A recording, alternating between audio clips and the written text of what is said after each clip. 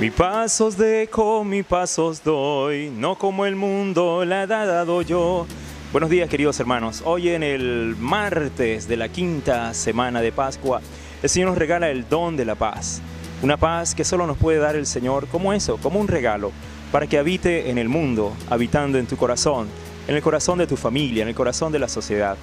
Démosle gracias al Señor porque está en medio de nosotros y nos invita a ser portadores de su paz, sin acobardarnos, permaneciendo en Él, permaneciendo en su amor y sobre todo aprovechando este año de la misericordia. Sé tú portador de la paz de Dios, una paz que no cesa, una paz que siempre avanza y progresa, en tu familia como una bendición, en tu trabajo y en tu corazón. Que el Señor nos bendiga y nos guarde por siempre.